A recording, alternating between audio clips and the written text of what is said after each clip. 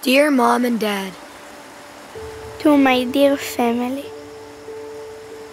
dear parents, before I left, I was terrified of being away from home for a full month.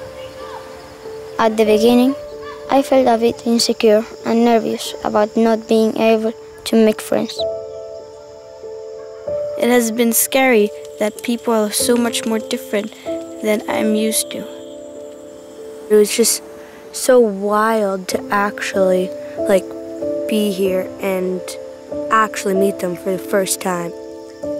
But after getting to know them and their thoughts, I see that we are more alike than I could never imagine. Here we all get along. The world has changed a lot, and by the time I'm your age, hopefully it's changed even more, but for the better. You meet like people from a lot a lot of different places and you realize that you can become friends with anyone Even when we feel we are so different, we really are not. It does not matter how we are outside. At the end, we are all humans, and respect is the key. I really think that there's hope for the future.